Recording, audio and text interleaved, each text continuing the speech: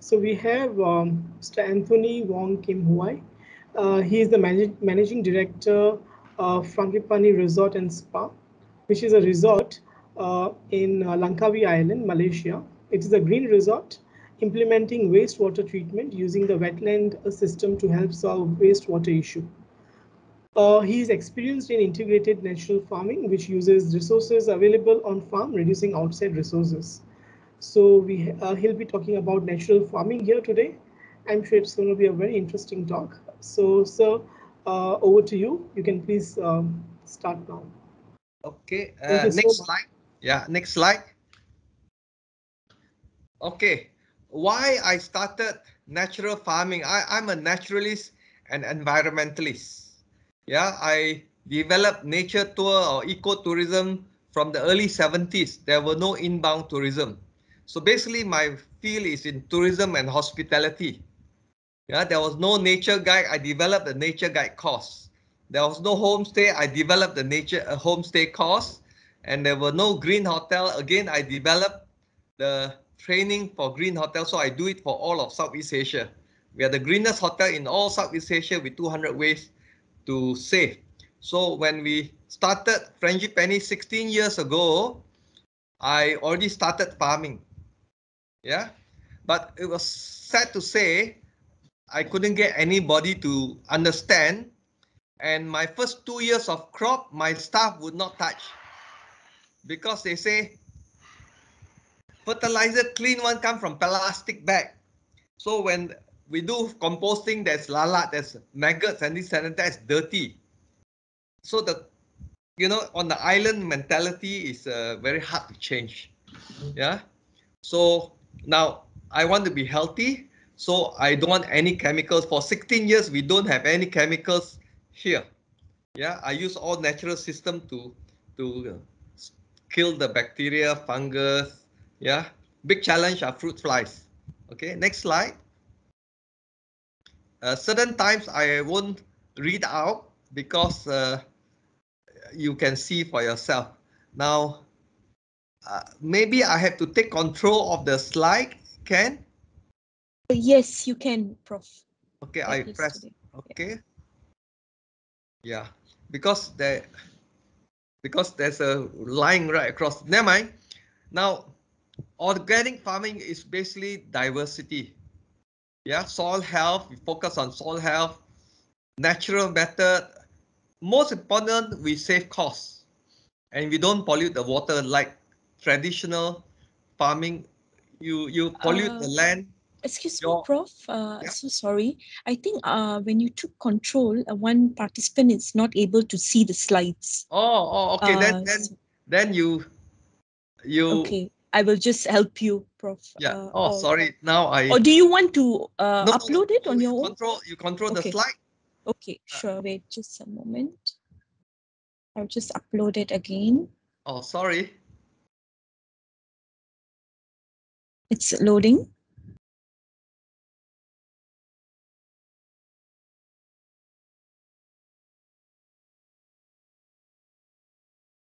I, I will continue to talking, yeah? Uh, now, yeah, sure. Actually, I wanted to start an organic farm school in Gombak. Yeah, I've been farming for such a long time because a lot of my friends said that, look, to go to your hotel and do farming is very expensive why don't you open in Gombak? So I have uh, two acre land for for 12 years. So we were supposed to open our farm school December 2020, but COVID start hit. So I I've closed it and I've just focused on Langkawi because you cannot do two things. You need passion to work on your land. Yeah, because long hours, you get mosquitoes, you're under the sun. Yeah, so this is something which uh, you got to have some love of plants and nature with you if you want to be a farmer. Yeah. So, uh, in fact, it's more challenging to grow where I am because my farm was a tidal river. So it's all salt water. So I do raised bed. Yeah. Next, I will show you the raised bed. Next slide, please. Now, this is the whole system of natural farming. Yeah. no chemicals. You use whatever you have. If there's a pesticide, it's natural. Uh, I used to have paddy field, SRI system in Gombak. Yeah, so everything is within a circular economy, circular system. So you need to have animals because the poo of the animals is part fertilizer and you feed the animals with the plants that you grow on site. So you don't have to purchase. But one of the most important, you have to have a neem tree because your anti-fungus, antibacterial, antivirus. So the amount of plants. Now, in all farm, you need water. So once you have water, aquaculture, yeah, but fish has to be fed. So that's where we have the different plant, moringa, azolla, water hyacinth, water spinach, duckweed, yeah. Uh, duckweed is not written here, but yeah, it's written there, that's right. So this is what you need to do. You don't have to have all the animals, but you need animals. Uh, in Gombak, I used to have goats, but now, of course, in the hotel, I, I cannot have goats. Yeah, the goats has to be corralled because they eat everything. Yeah, but the poo is good. Yeah, again, if you do have goats, the goat must be placed six feet above the ground because they get bitten by sand flies because of the poo. So you can light a small smoke fire below and they need dry so you can move easily.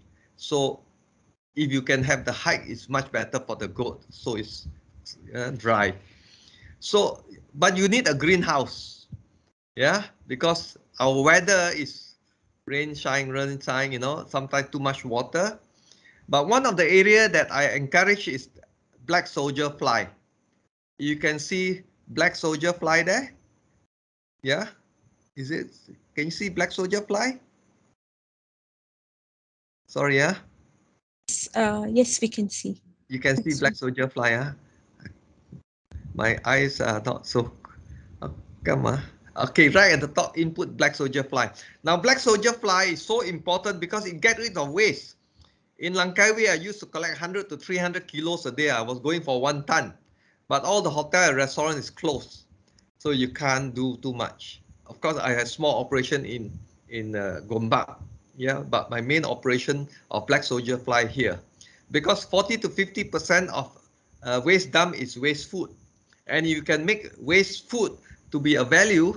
Now, black soldier fly has dry weight about 42 percent protein, much even better than than peanut. Yeah. So that will feed your your goat, your chicken, your fish, everything you powder it, you mix with other thing. That's really good protein also. Yeah. So this is something which you have to you have to don't have to put everything in, but this is something you have to work within the formula. Yeah. And of course, we are all talking about climate change. When you do this, very little energy. Yeah. So so you definitely save on CO2. And some of the plants you grow very fast because they absorb the carbon. Yeah, you see duckweed doubles up within 16 hours to, to 48 hours. Azolla, salvinia, they are often family, they double up in four days to seven days. Water hyacinth doubles up in two weeks to three weeks, depending on on uh, the nutrient. And water hyacinth three weeks, you you three to four weeks they double up. So these are fast growing plant that you can also feed and sell. Yeah. Next. Now this is my Gombak farm, which I I've built it up, but now of course I just leave it alone with a caretaker because you need passion to run it.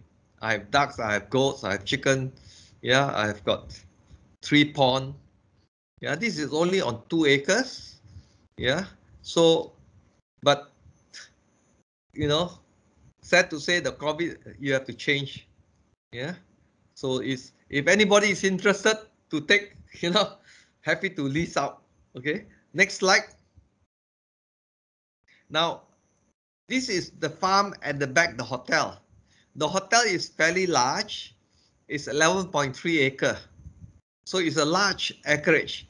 But this farm here behind is half an acre of garden, half an acre of almost half an acre of wetland. So it's about an acre. So these are all on raised bed. Can you see on the left hand side, the picture? They're all on raised bed because originally when high tide, this area gets flooded from the sea. So you cannot grow anything. You have to raise it up because the soil is salty. So again, we have developed a system to grow on salty sand and we have also uh, bypassed the normal composting, which is three to six months. Here we do layering. We dig about one and a half feet. We put cardboard in a U shape. If not, we put a thick layer of leaf. Then you put uh, waste food, yeah, on the leaf. And, and of course, on the leaf, you also have twigs. It's a mixed hugelkultur. Then you put compost, not too, too much because you develop it for the microbes.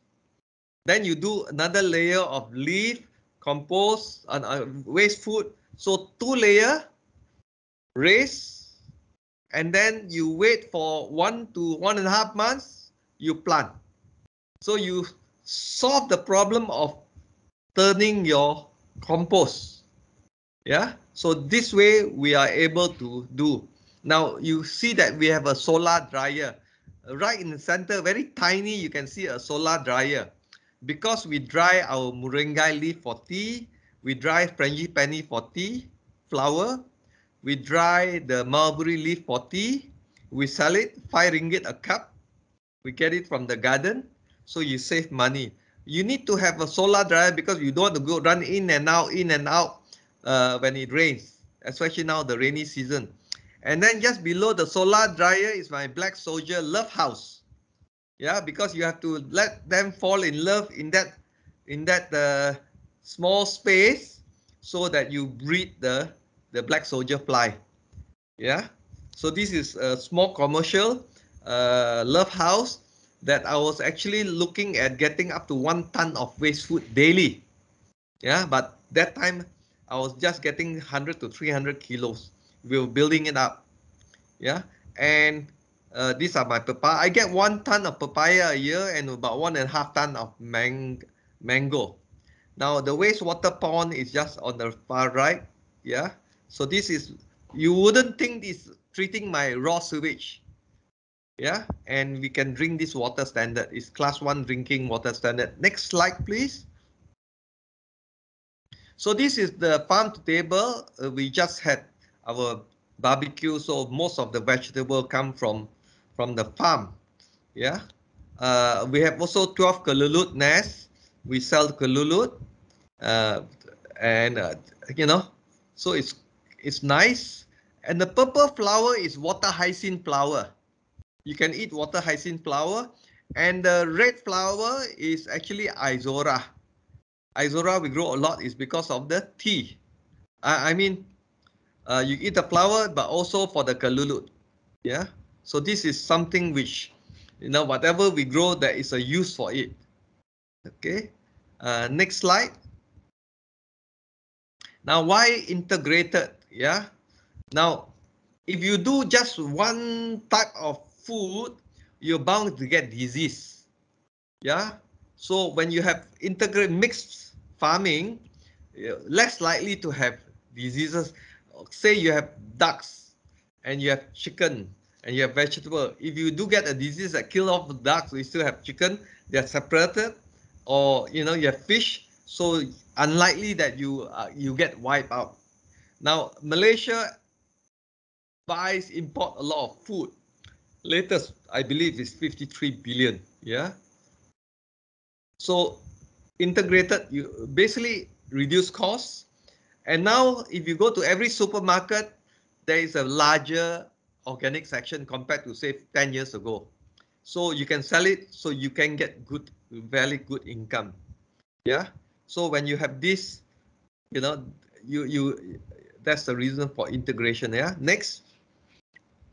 But much knowledge because the of integrated you have to learn many skill how to deal with duck, chicken, vegetable, fruit trees. So you you you have to be a little bit more flexible.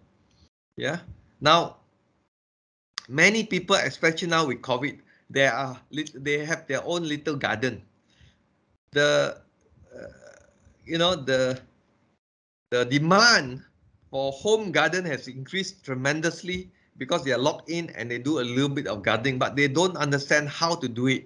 So I believe this is something which we all have to do something about food security. Yeah, next word, next slide. Now this is the, the current situation. Yeah. How are we going to feed people? We don't talk about, just talk about Langkawi. 95 or, or more percent, all the food is imported onto the island. We have got about 130,000 people, but we get up to 3 million tourists. You know, but here when we talk about farming, it's only paddy. But paddy is all chemical. Very little mixed farming here. So I believe we have to change our education system.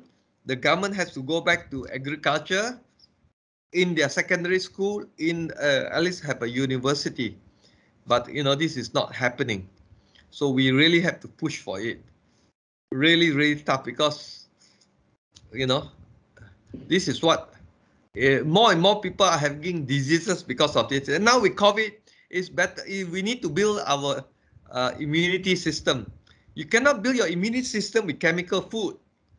You know, for example, when you have organic food, the micronutrients there, you if you put it even with seawater, seawater has what 60 over to 70 micronutrient uh, minerals.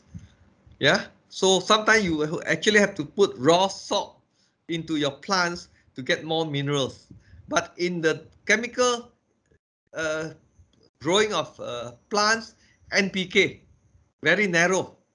They may grow fast, they may look good, but micronutrient, nothing. That's why now they sell multivitamin, about 24, you know, other nutrients are in there, you know, minerals and, and things like that. Yeah, because the food is flat, may look big and good. Yeah. Next slide.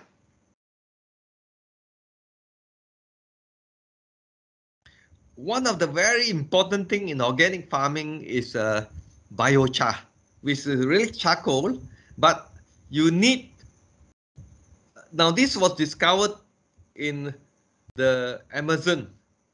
Uh, they were digging and they find that wow, it's so rich, you know, three four meter down, and they find rich soil because, the, the, you know, 600 years or more ago they were using this. After so many years, the soil is still rich. So this is what we are now. You as an organic farmer, you must use biochar. But you cannot just use charcoal. Yeah, you need to activate the biochar. That means not complicated to make biochar. Keep it very simple, you have a big fire with wood. Yeah, it's burning. You get amber, you pour water over it. It will fizzle out and that's your charcoal. Very straightforward because you can big, do a big amount in a short while this way. Yeah. So now this charcoal has nothing. So you need to mix it with compost where you have the the micronutrient, the nutrients are in there, you have microbes in there, so it's a housing for the microbes. So you also retain water. So you house it for maybe about two weeks or one month. Then you do with the planting. Then you realize that you don't have to put so much fertilizer. Your plants can can live even sometimes a dry period because this biochar will hold water. So one of the thing is very important. Of course, vermicompost is dealing with worm. Now, when you talk about worms and fungus, you go to another system, no-till farming. Because when you till the land, you kill the, the sometimes you kill the earthworm. You also destroy the fungi in the root system. So when when you do organic farming no-till, you just put, you add on your, your leaves, you add on your fertilizer, you add on. So it's soft. So you have got the most important is actually the mycorrhiza, the fungi that's growing, they connect with each other and they will take fruits, food from far away into the plant. The plant supply them with carbohydrate and then it's a symbiotic relationship. And the big mother plant actually can feed the baby plants far away using the mycorrhiza. It's like your internet. but it's under underground. Yeah, but they they take food. You know, they they flow right across. They talk to each other through the mycorrhiza. Yeah. Next. Uh, this is my any farm you have, you got to have water. Now, many people will build a pond at the lowest level because gravity flow. Now, if you really want to smart management, your pond is up higher up. Yeah, uh, we got water from our spring nearby, about a kilometer. We channel it, but the pond is at the highest level. So that by gravity flow, because I got paddy field, if it goes to my plants, it goes to my fruit tree, it goes to my paddy field. So with gravity, there's no machine. Yeah, so this is how we have to do. And of course, this is also cleaning the water. Yeah, this is beginning when I was building my farm in Gombak. This is the beginning because the soil, no plants there. Yeah. And then within the land, you have to try to have swale, little ridges to collect water into your your grass area, your fruit area, so that the water stays within the the land. Yeah. Next.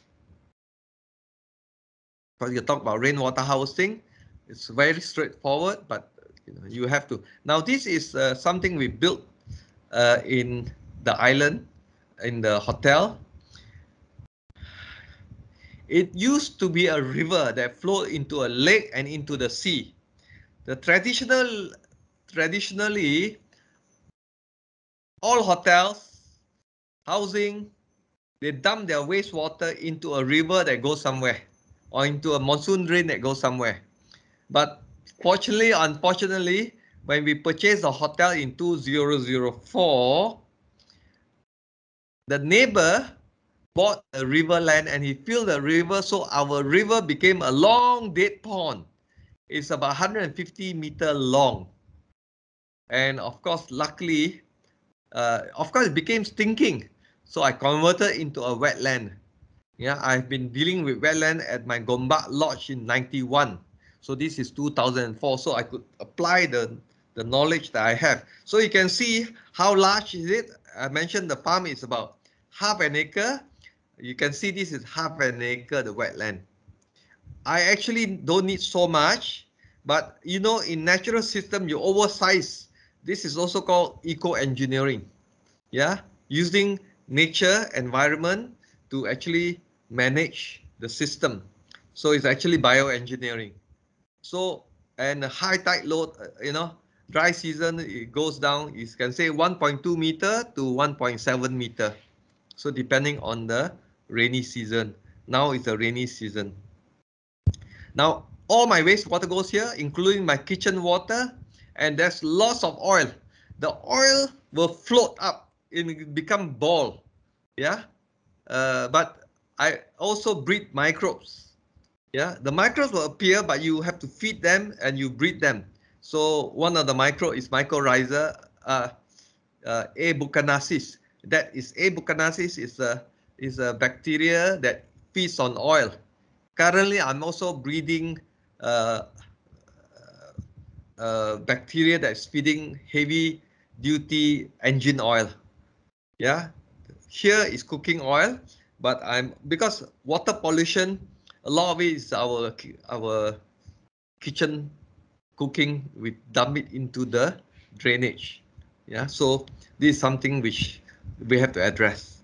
Yeah, so everything goes into the wastewater pond from the beginning. Next. So this is how we do, we have different plant. Is the different plants are like biofilter. Yeah, we plant them for the microbe. The plant is doing work about 10, 15%. The microbe is doing 80, 85%. So it's a microbe that we are actually growing. So the roots are like condominium to host the microbes. So the microbes are the, the, the one doing the work. So these are some of the plants that we use yeah, water hyacinth, duckweed, vetiver. Vetiver was brought in by PWD for slope retention. One meter up, two meter down, the roots are very deep. But vetiver is, the root actually has oil that does Chanel 5. You know the perfume, this comes from the root of the vetiver. So India grows a lot of this. Yeah. Water lily is very good for cadmium. Of course, water spinach, yeah, kangkung. So all this, you know, some if the water quality class one, you can eat the plants. Yeah. Because no heavy metal. So depend on the what type of pollution you grow the type of plants. Next. so I mentioned moringa, superfood. Any organic farmer must plant this. Yeah, now it's being used uh, in health gym.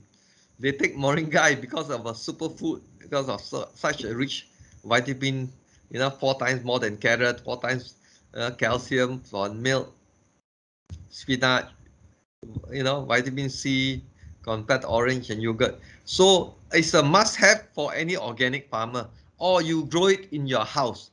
Moringa is such an easy plant to grow. You can cut it down to three feet and just keep plucking it. Yeah, you have two trees, it's more than enough for your daily intake. Yeah, you buy moringa tablet, it's expensive. Why don't you grow the tree? If you don't have land, you grow in a pot. Yeah, a big pot, and you can harvest it. Yeah, next. Now these are the fast growing plant. I purposely grow fast plant because I'm treating wastewater. Yeah, so you don't need so much land. Uh, I'm helping uh, UC Science Penang to develop the constructed wetland. And they asked me, uh, where's my reference for what you do? You, you seem to have less size to treat wastewater than anyone. I say, yes, I grow fast growing plant. So I harvest them so it's more efficient. I don't need such a big space. She was asking me, can I have other reference? I said, look, you are the professor, you are the PhD person, you can look, you can find anything better than me, that means they are ahead of me. But so far, none anywhere in the world. So I've developed a system that can treat wastewater faster and is approved by the Environment Ministry and EQC, Environment Quality Council in 2017, August 10. So I drafted out the technical act. Yeah. So now any project that is I do consultancy is this government, the finance ministry fund the project. Yeah. But I don't get involved. It will be a university or some people that is involved so that there's no vested interest. Yeah. Okay. Next. So these are the plants. Yeah. Water lettuce, water lily, velvet lily. Velvet lily is like a like a water hyacinth. Yeah, you can eat it. Again, water hyacinth is a pest. So certain plants you must control because they are so fast growing like water hyacinth is a pest. All over the world it's a pest.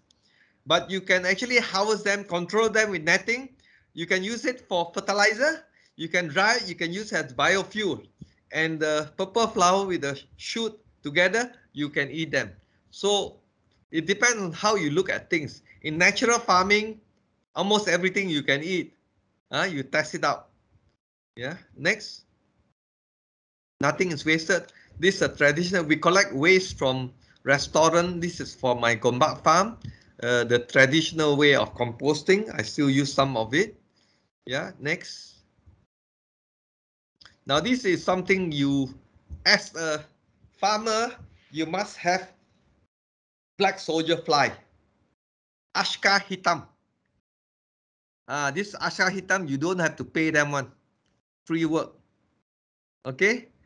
This is recommended now by UN because it get rid of waste food. But you can also eat the maggot. I do serve them in the hotel in the past when I was running, when I had a lot of black soldier fly. You can see them as future food. There are certain restaurants in in America, in uh, UK, in Germany, they are actually serving black soldier fly maggot to eat because it's got rich protein.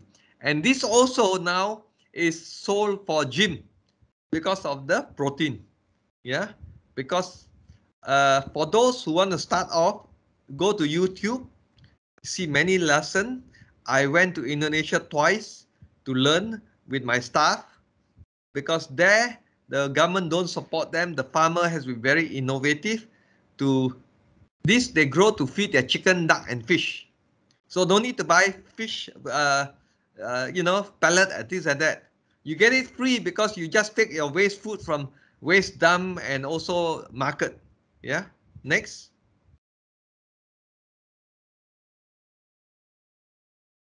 Of course, uh, uh, you you need to have uh, pesticide, uh, but you do it from your plants. Here we have lemongrass.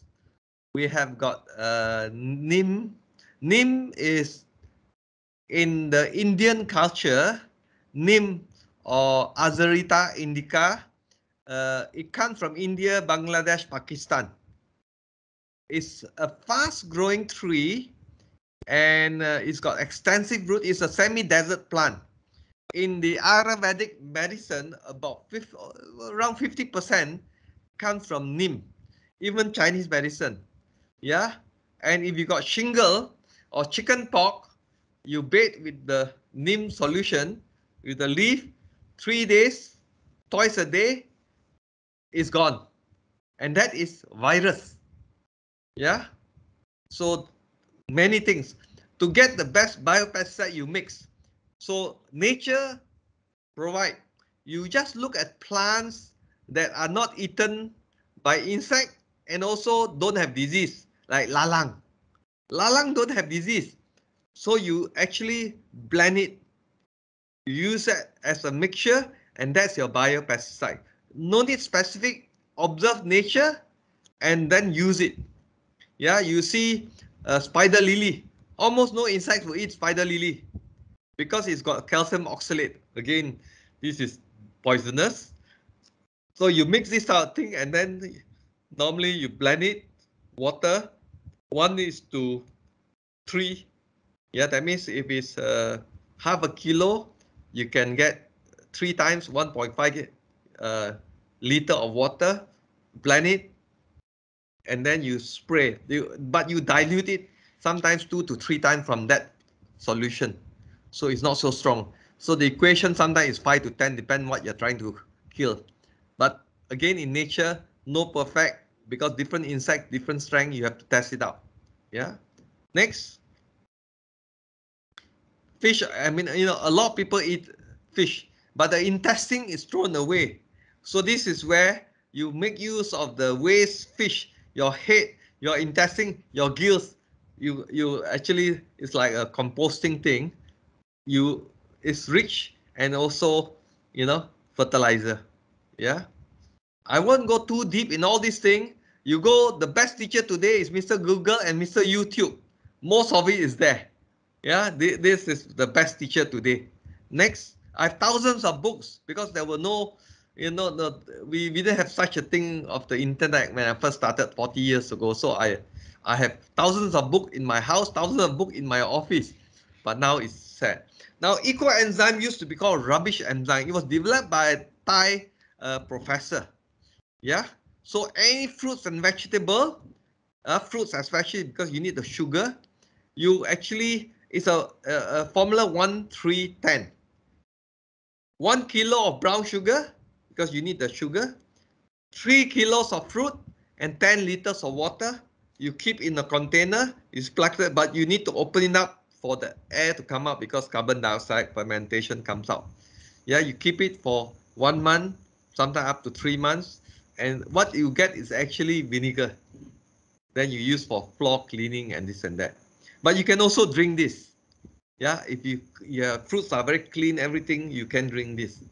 Yeah, it will smell. It's a, very nice, like rice wine. Those who have smelled rice wine is very nice aroma.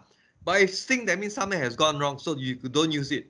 It always has got a very nice aroma to it. Then you know you have done a good job. Yeah. Next. Now, why I'm doing all this is because very few people understand. So we need to share. Yeah.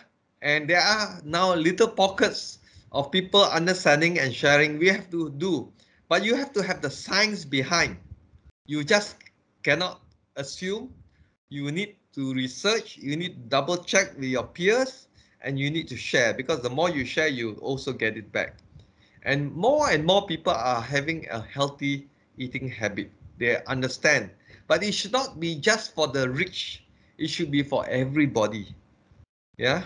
But you have to keep researching and researching because since we don't have a proper agriculture in the old days MARDI did a great job fantastic job. Yeah but now I think we need to do more. Yeah? So this concept less input and more output. The whole idea is less cost. But what I must say is more sometimes. Because you have to go and pick up your your caterpillar your snails because you're not putting any chemical pesticide. Those can stay for weeks. So yeah you have to have more to look at it. So you have to go to the farm in the morning in the evening to make sure that the chicken is still running around because sometimes when they get sick you have to isolate them. So in that sense you need more manpower. And when you do put in the biopesticide or fertilizer if it's liquid you do it in the morning before sunrise. So the plant can absorb and use it out or you do it in the evening. So early morning or evening. So it's long hours you know for farming yeah? And in the mixed farming you have income source from all different area. You have chicken you have duck you got fish you got vegetable you got fruit tree. So any disease that will strike one will not strike the whole farm because it's mixed farming is integrated. So you won't get if there's a big uh, disease, it won't affect all the plant because, you know, this is how nature is. Yeah, next. So I actually look for more question and answers from y'all. Yeah, it's now about three. I've got, I think uh, I went very fast. I didn't watch my my watch, so I went very fast without going in too much detail. Yeah. Thank you so much, Prof. It was really a very interesting session and um, we learned a lot of new things. I mean, mm. the soldier fly concept, uh, at least I wasn't aware of it. So we have a lot of questions, I'm sure. Um, if anybody has questions, please uh, post in the chat section so that uh, we can uh, for, uh, we can forward the questions to Prof and uh, he can help us understand about the subject more. So there's one question from Ben.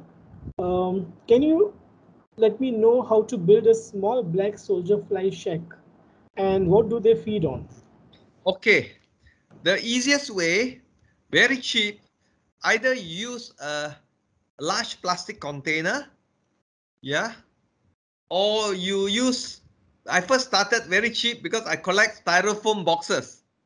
You get it free. The whole idea in natural, you get everything free.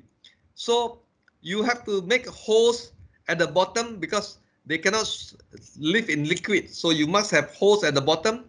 You have holes at the side. You have uh, on top, we have a cover because away from the rain. Now, so you have ventilation because black soldier fly need oxygen when the maggots are alive. They need, they will eat fast and they will need oxygen, so you have to have ventilation. But one of the things is you also must uh, keep it control enough, don't have rats going there. The rats will eat the black soldier fly. The lizard will also eat the black soldier fly, the maggots. Now, you must leave this under nature, under shade, You are not in the hot sun. Uh, automatically, First, will you get housefly? The housefly maggots are small. Then the black soldier fly will be there. But you cannot do it in the apartment you have 20, 30 story up because the black soldier fly don't fly so far. But they are almost everywhere. You will not realize them. They are long. They look like a wasp. They are long, white, white at the center, like a wasp, but the black soldier fly is the same family as the house fly. Yeah. So, but the house fly will lay the eggs onto the waste. Black soldier fly do not lay, lay on the eggs. So to harvest them, you actually put cardboard. You cut small pieces of cardboard uh, about two two inch long or three inch long, half inch wide, you have holes inside. So you stick it along the side of the polystyrene. They will lay eggs at the side. Yeah. And each clutch will have about 400 to 800 or 600 eggs. In fact, I just started one outside my room and in four days, I got about 12 nests. So now I'm breeding the small black soldier fly. Yeah, uh, I have to start all over, but I cannot do it because I'm very busy. The island is opening, but I still breeding them until I have, you know, because you have to collect waste food. So to start off, you put any of your waste food. Now they do not eat vegetable, fruits, food, uh, you know, your rice, whatever, but not too hot chili, curry, no oil. Try not to have oil because they have to breed. So your food, it must be moist, but not like bubo, not like porridge. So they will feed on it. If it's hard food, you take a blender and make it like baby food. So basically, commercial side, we have a a blender, a large blender to blend it to baby food for the black soldier fly. Now they need a square open space. That means when you have a container, you want it flat, you want it wide. So it's your per square feet or per square meter that you house the black soldier fly. Yeah. So I used to buy, uh, you know, when you have got the black container at the back of your booth, it's a recycled plastic black color. It's about four inches tall, but it's about one meter by three quarter meter. So I use that to breed my black soldier fly because they need air. It's not the depth. They need the square or open space. So within within three to five, six days, you get the eggs. Within a week, you can see them in the five, six days, you can see the little, little tiny one. Once the maggots start, the black soldier fly, the house fly don't lay any more eggs there. Because the maggot of the, the, the black soldier fly maggot will eat the black soldier, uh, will eat the house fly eggs. They eat everything. Yeah. Now, you don't worry about house uh, black soldier fly adult because they don't have mouth. They don't eat, so they don't carry disease. But they only live between five to eight days. They die off. They live to mate. Then they die. The male will die first, the female longer because they will lay the eggs and then die. Yeah. So uh, during the breeding of the black society, the frass is like vermicompost. The frass is also used as fertilizer. But what you're trying to do is to get that maggot.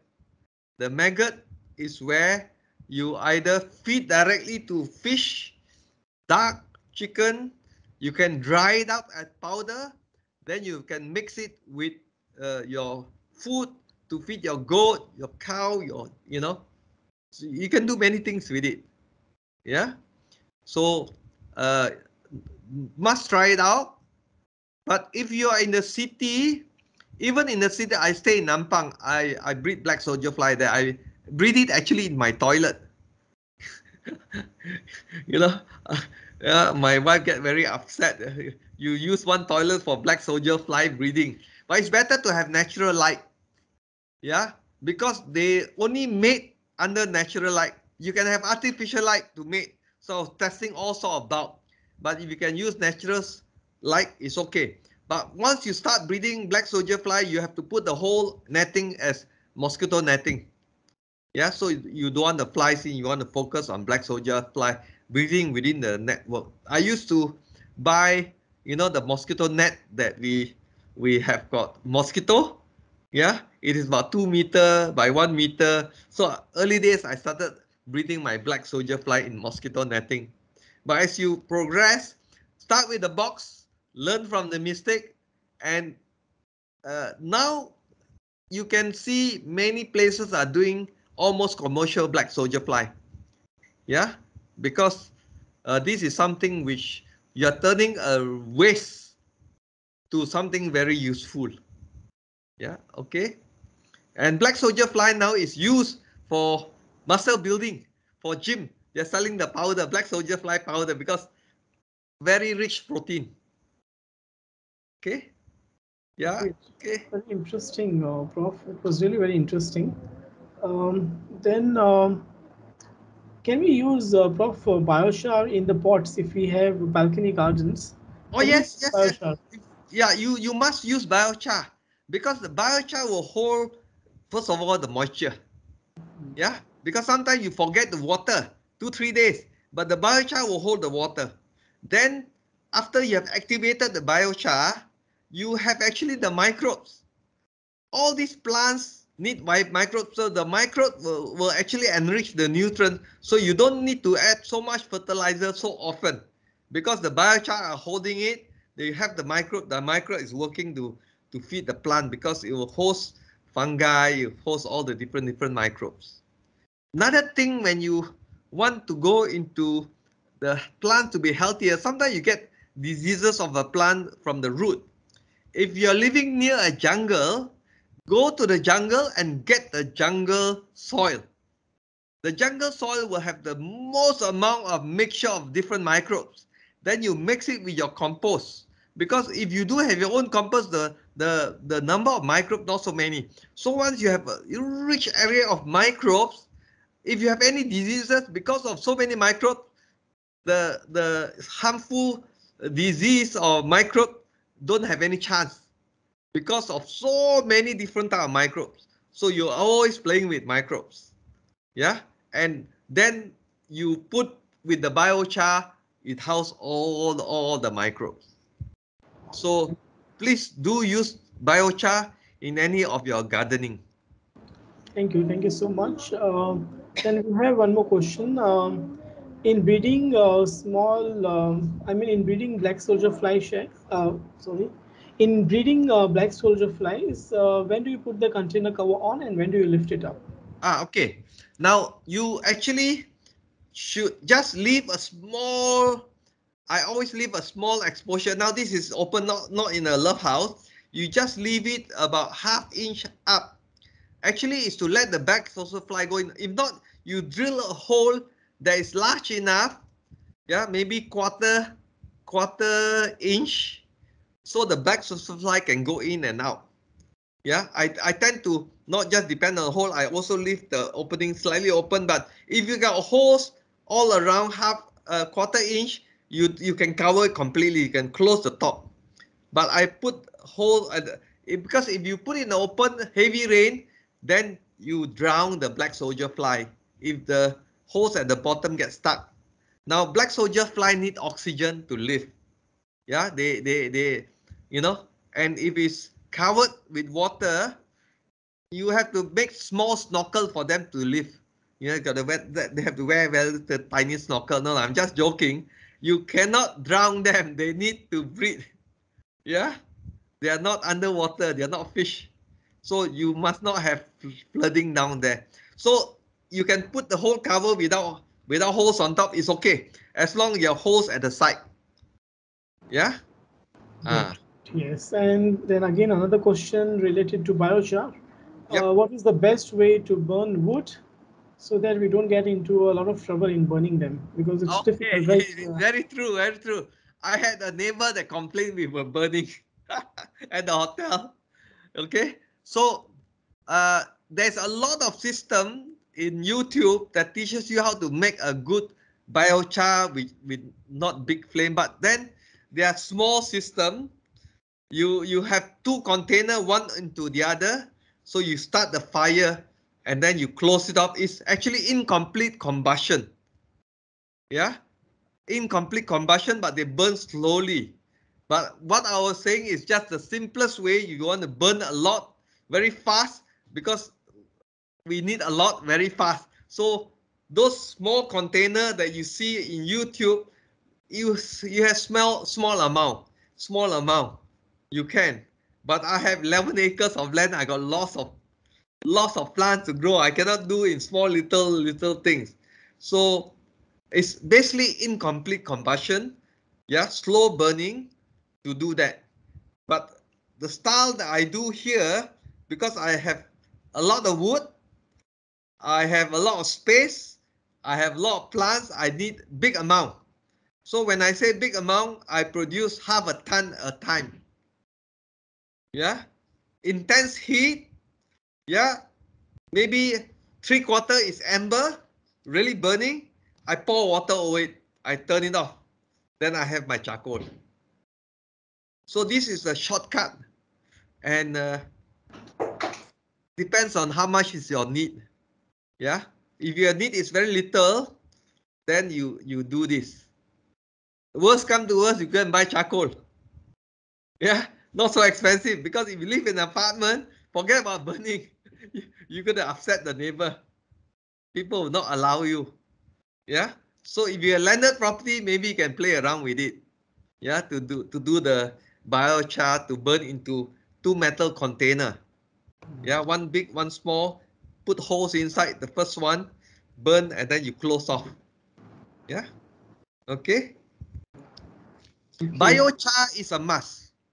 Yeah, Mm. Because it will save you a lot of time in your fertilizer and a lot of the time sometimes you forget about watering. So it actually helps you to balance off. Yeah, it's a smart way of uh, doing farming. I mean, you can do urban farming.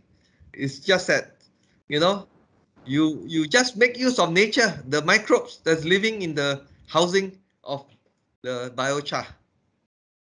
Okay, great, talk. Then there's one uh, very interesting question that um, these black soldier flies, they are enemies and they're considered pests of which attack No. the stingless bee Ah. colonies. Okay, they are not considered pests. They are recommended by UN now. They are not a pest because they don't carry disease. Mhm. Because the adult don't eat. Uh, but they do attack the stingless bee colonies. So Ah, yes. They do. They don't really attack. They actually find places where they can lay eggs for the young to grow. So if you do, I have 12 colony of stingless bee. So when I do my black soldier fly, I try to be it far away.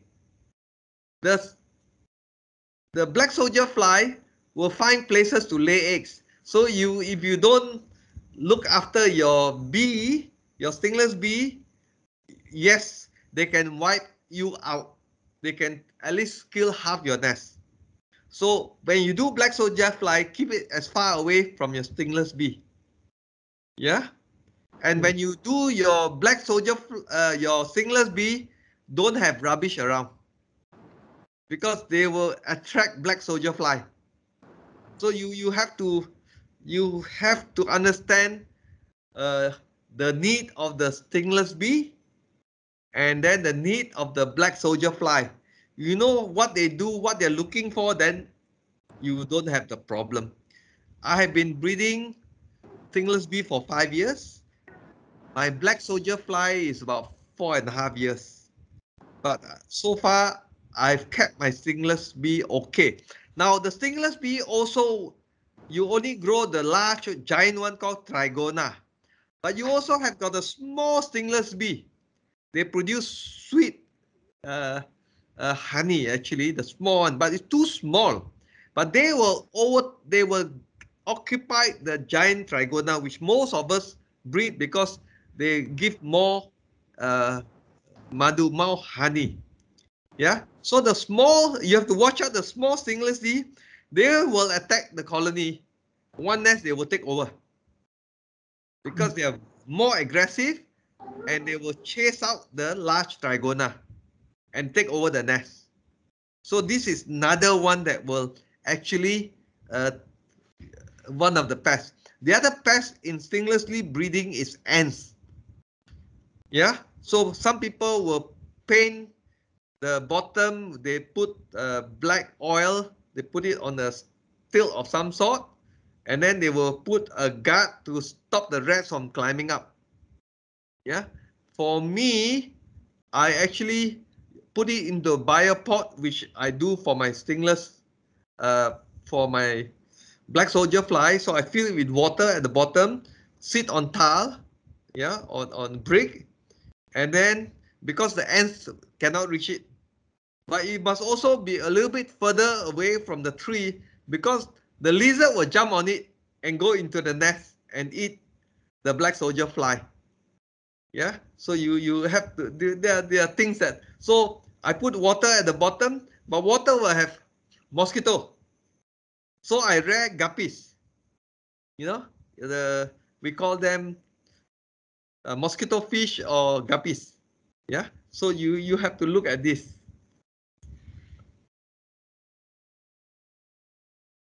Any more question? So you really have to work very smart, huh? Uh, you learn, you learn, and uh, you you become practical. And again, if you are breeding uh, kelulut, I'm not a master. I do not know how to uh, develop the queen. Yeah, I just buy the nest. But I can tell you, for kelulut is is important. it's in cool area and tree area. Yeah, in hot area, they produce less, they will get 50% less honey.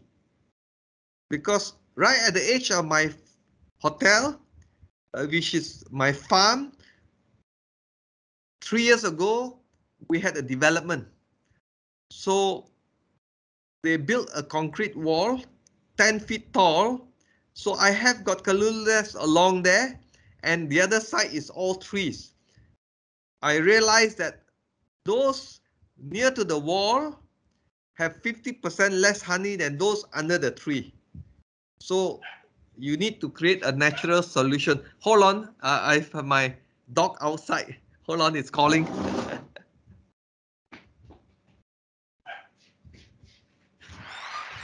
come, come. Where are you?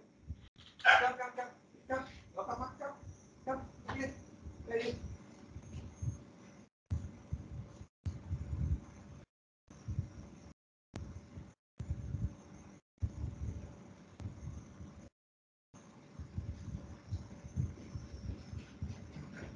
Okay.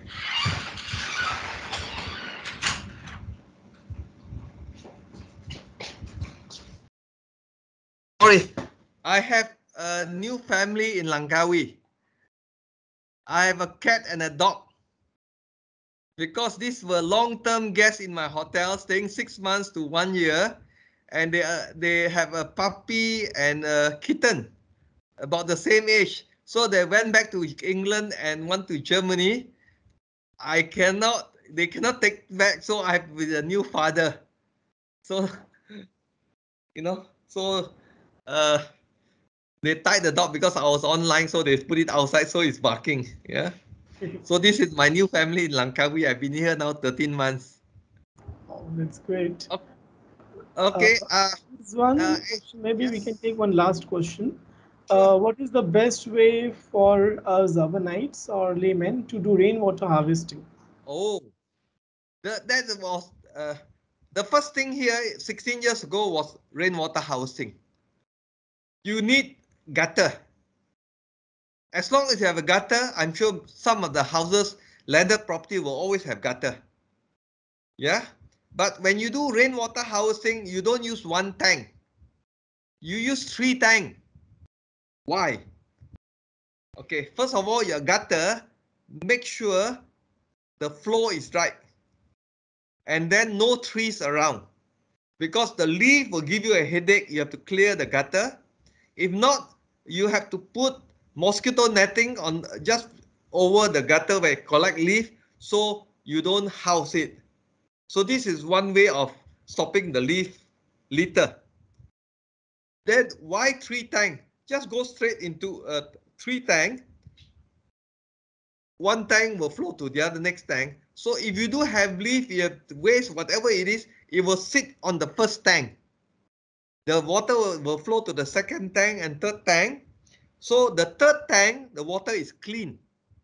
The sediment will sit on the first tank. If does escape the first tank, it goes to the second tank very little. So your third tank for 15 years, I never clean my tank. The third tank is still clean. So this is the way of working smart. Yeah, recently, uh, lockdown, I, I started going into the tanks to clean the tanks. So I noticed that only the first tank has got has got a, a sediment, yeah, from the leaves and things like that. Yeah. So and the from one tank to the other tank, the connection is below and leave about one inch or two inch from one tank to the other tank. So that two inch is actually for the waste deposit to sit at the bottom. So it sits and then it goes to the next tank. So this is how you you work. You just work smart and practical. If not, if you have one tank, you will find that your tap always jam with, with sediment. So the third tank, you put a pipe, you don't worry about sediment that's coming out because always this is an issue. So if you don't have a lot you know, you can use smaller tank, but always three tank. So the first tank is always for collecting sediment. I have 125 4,000 liter or 880 gallon for half a million rainwater tank in the resort. And we save 8 to 12,000 a month from rainwater housing. When I first started, it cost me 300,000. My friends, hotels, and say, are you mad? When are you going to get back your capital? I say I'm working towards eight, eight years, but water went up 40% in the next three to five years. So I got back my return in six and a half years, capital investment. But today it's already 16 years. So you have to look at long term. Yeah. Okay. Yeah, there are many people who would like to um, know about your resort, I think they can contact uh, Prof directly. Yes, the yes, email yes. address as well as the phone and, numbers and, are there. And yeah. my uh, mobile phone is here. And uh, we, in fact, end of the year, I'm actually running an organic farm course. Yeah, I've been doing farming courses for about five years for the Islander. And I got an organic farm tour almost every other day. So uh, happy to share. And uh, I say, you stay with me, I'll give you the farm tour for free. but I teach anybody, you know, it's happy because it's not the money issue. The more we share, the healthier we are and the community and it's money is not everything actually. Yeah. So sharing is so very important. I teach in so many universities, it's not the money. Yeah. Because but when you teach, you also become sharper. You have to do research continuously you have to do research, but you must have that passion. Yeah. True, okay. Thank you so much uh, for the wonderful Welcome. session, as well as uh, answering all the questions. We were really, um, we were really lucky, I think, to have you, Prof. So Welcome. thank you so much. Um, okay, Balkis, over to you.